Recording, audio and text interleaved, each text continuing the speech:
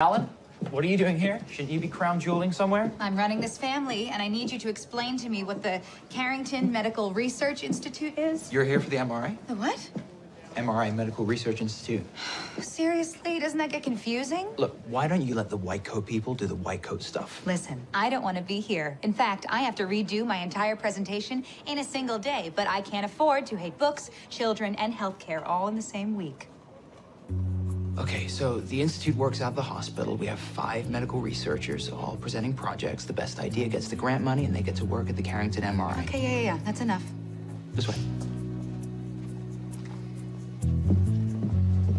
thoughts, ideas. They come to us at the most random of times, and when they do, it's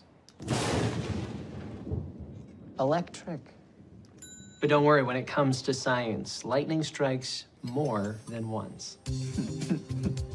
now, I wanted to be a medical researcher since I was 10, so we'll start there. Which brings me to the crux. Now, some would call this research, but I call it the cure. Wow. He's not done yet. He's done now.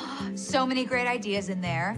I love a good cure. But you know, I was thinking, who are we to tell you guys that one of your projects is better than the other? That's actually why we're here. I mean, can you really put a price tag on saving lives? What are you talking about?